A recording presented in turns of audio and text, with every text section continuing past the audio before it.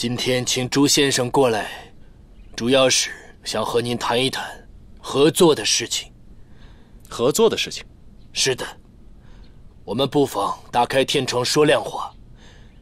现如今，南方的军队已经进入了浙江，上海工商界是人心浮动。我富山株式会社对一些工厂的收购，完全是出于保护，而不是侵吞。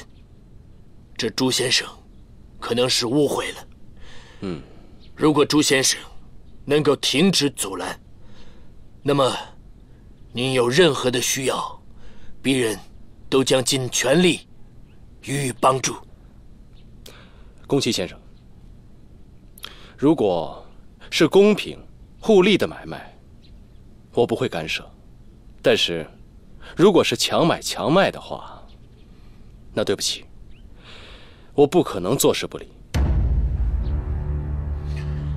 朱先生，鄙人已经表达了我的善意，请您三思。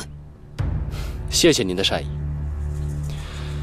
我也表达了我的意思，也请您三思。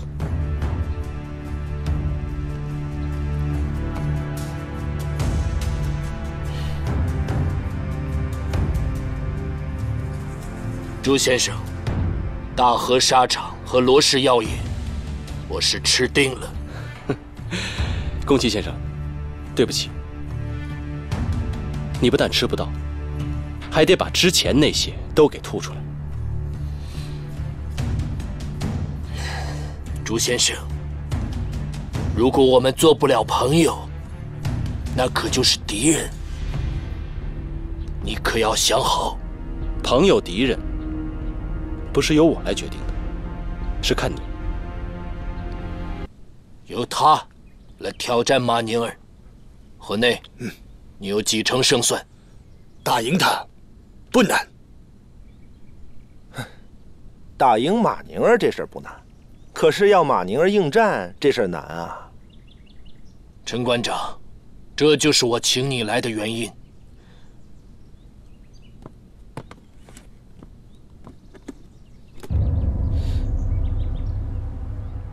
陈馆长，请笑纳，我只要一个结果，让马宁儿迎战。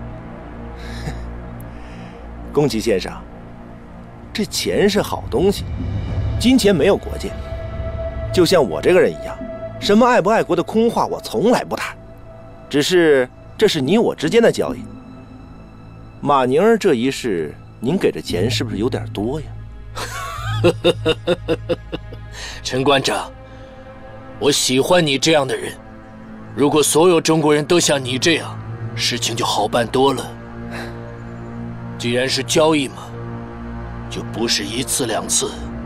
我们之间的合作是长期的，所以，请你收下吧。好，有宫崎先生这句话，马宁的事儿就包我身上了。很好，武林，你要发动上海大小所有报纸。集中报道河内挑战中国国术大赛冠军马尼尔这件事，越热闹越好。明白，哥哥，我一定会办好这件事。河内，嗯，你明天就带人到国术馆，向马尼尔正式下挑战书。嗨，一，二，二，二，三，二，四，二，五，二，六。好，大家休息会儿。哎，马教练，马教练，喝口水，辛苦了。让他们自己练呗，大热天的。谢谢馆长。学八极拳不是儿戏，既然我担任了总教练，就必须对得起这个位子。还是由我来吧。好。谁是马尼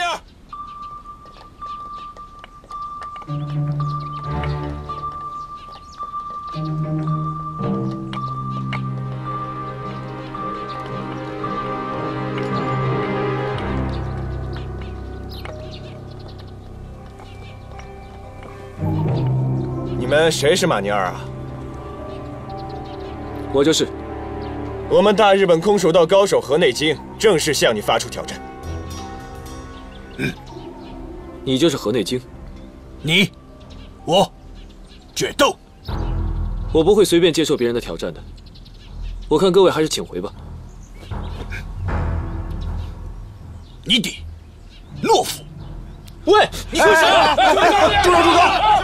简直欺人太甚了！你们，谁说马宁儿怕你们的啊？马教练，这帮日本人都欺负到我们国术馆头上来了。哎，你不会害怕输给他们以后就毁了你国术冠军的名声吧？马教练，这个人荣辱和民族大义相比，哪个更重要啊？我觉得男人大丈夫宁可战死擂台，也不能苟且偷生，对不对？好，我接受你的挑战。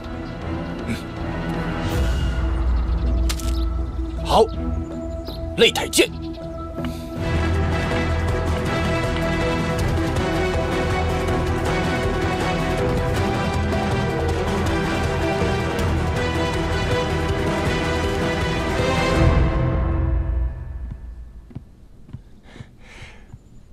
宫崎先生，马宁儿已经接受挑战了。您找我过来，不知还有别的事儿吗？他接受挑战，我当然知道，但我还需要他来一趟。有些事情我要和他当面谈。来这儿，可能有点难度吧？他不太喜欢来这个地方。有点难度啊？没点难度，我请你来干什么？